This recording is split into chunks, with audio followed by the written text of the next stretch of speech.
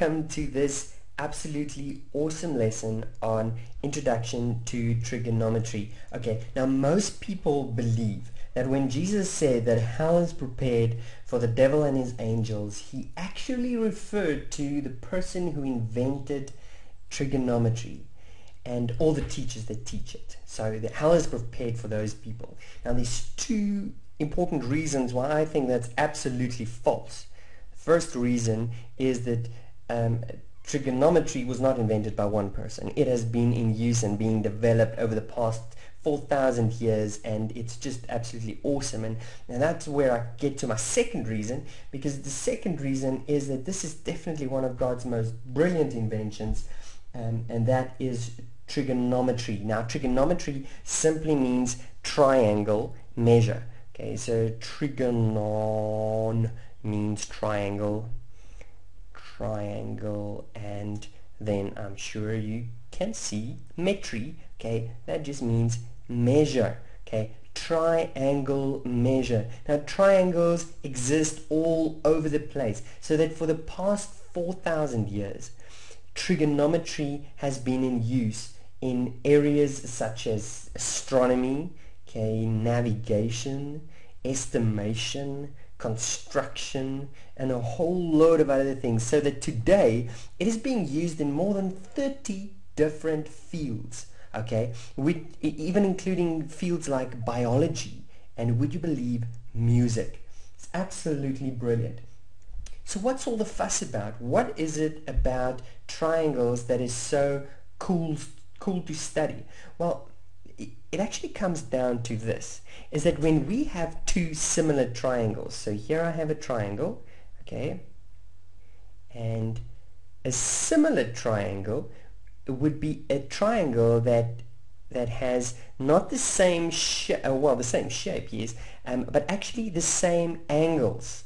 Okay, so if I have an even larger triangle here, okay, that's two similar triangles because all of their angles are the same. So let's say that's 30 degrees, okay, and that one is 30 degrees, and this is 90 degrees and 90 degrees. Now these two are two similar triangles. Now you might say, okay, but how do you know the third one is also the same?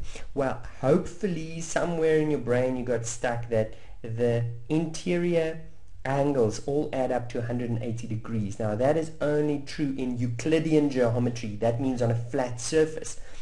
Okay, so if this is 30 and that's 90, that brings me up to 120, which means that one must be 60 to bring me up to 180. So these are two similar triangles, and you can see one thing about them is that they're not the same size. This one is clearly larger as the other one. But one thing that you can know is that if we take the ratio of any two sides, the ratio of these two triangles and the ratio of their corresponding sides would be the same. So what do I mean? Okay, so let's assume that, that this is what we are going to call our observed angle. Observed angle. Now, only reason why I call it the observed angle is because I'm going to name the sides relative to this angle. So for example, that side I'm going to call the opposite side. And this side, okay, let me write it out, opposite. And this side I am going to name the um, adjacent. Okay, and it's not really me that named it, it is that guy that invented it, you know.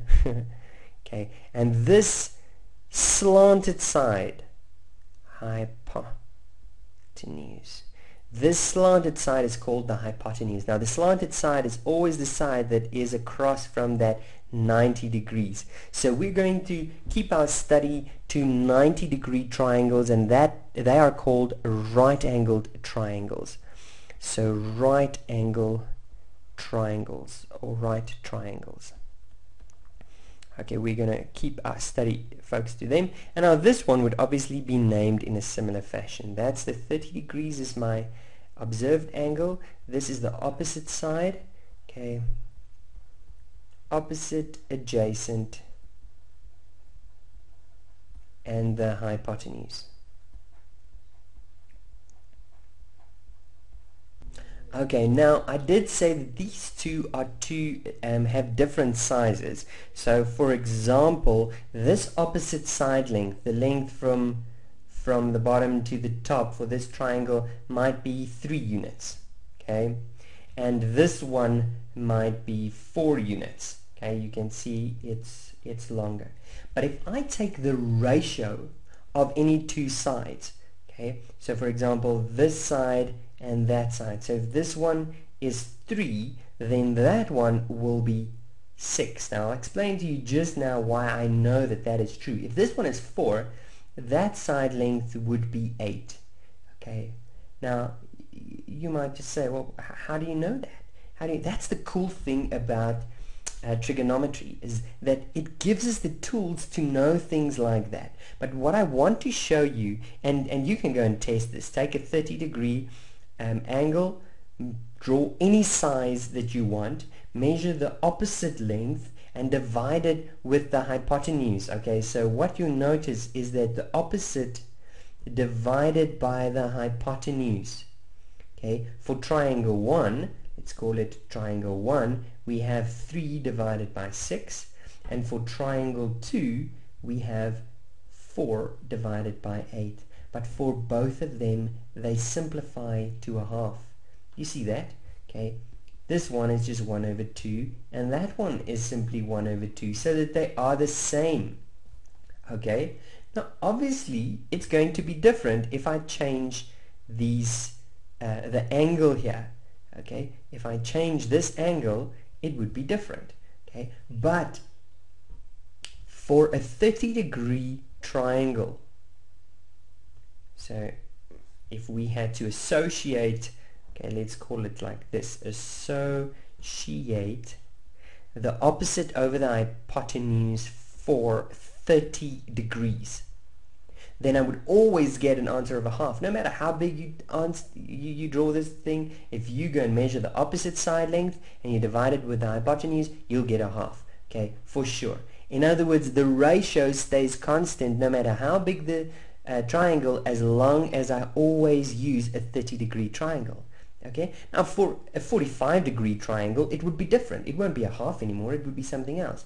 Okay, but all 45 degrees, if I take the opposite divided by hypotenuse, I'll always get the same answer.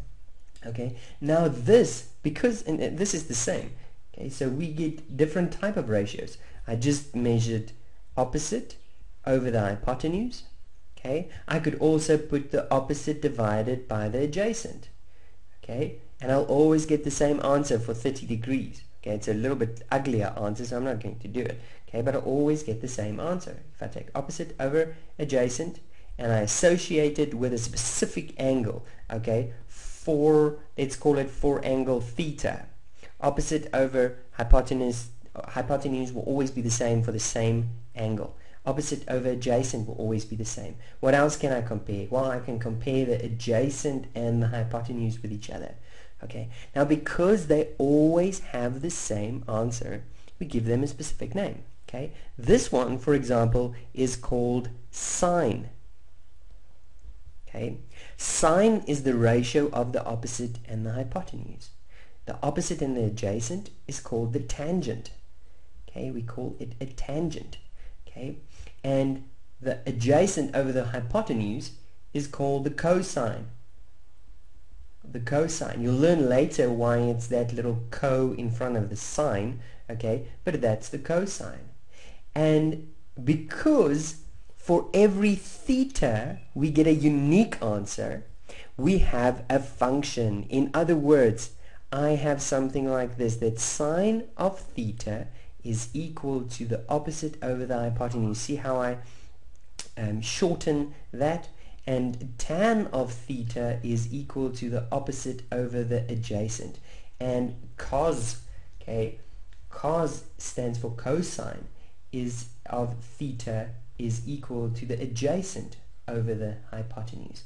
So when I have something like this, what I'm actually saying, I'm actually asking the angle a question okay so if I have something like sine of 30 degrees I'm asking sine of 30 degrees what is the ratio what answer do I get if I take your opposite side length and I divide it with the hypotenuse and the answer is always a half. Okay? In other words, the opposite compared to the hypotenuse is the opposite is half of the hypotenuse always. Okay? Always for what? Always for 30 degrees. Okay? Let's look at another example similar to that and look at tan for example. Okay, so let's take 45 degrees.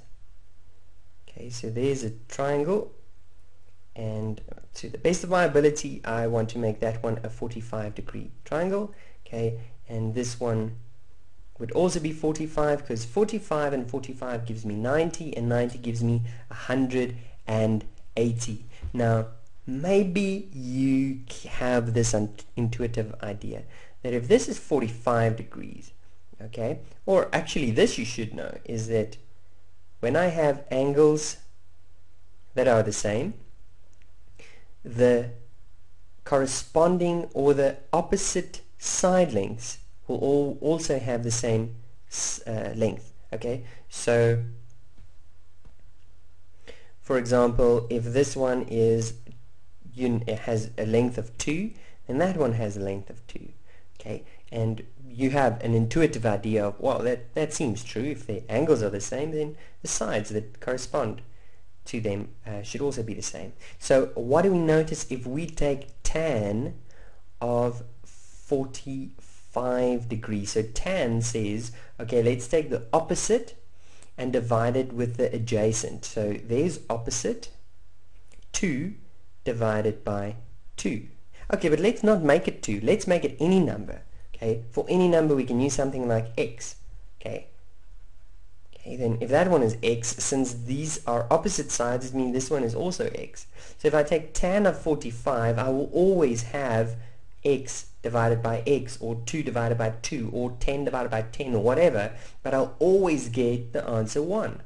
Okay, so that if 45 went into an interview with tan, Tan would ask him, okay, 45 degrees, so what ratio do we get when we take your opposite and we divide it with your adjacent. And he would say, well, a ratio of 1, which means they are the same. They will always be the same because it's 1 to 1. Okay, um, I hope that made it clear, more or less. Cos, very similar to sine and tan, of course, uh, just comparing two different values. So cos would say the adjacent, that's x, over the hypotenuse, which is that value. So in the next video we get to the theorem of Pythagoras and in there you also learn a very very cool theorem that goes along with the trigonometric ratios that we've just learned. So what we've just learned, all of this, these things are called trigonometric ratios. Okay, cool, see you in the next video.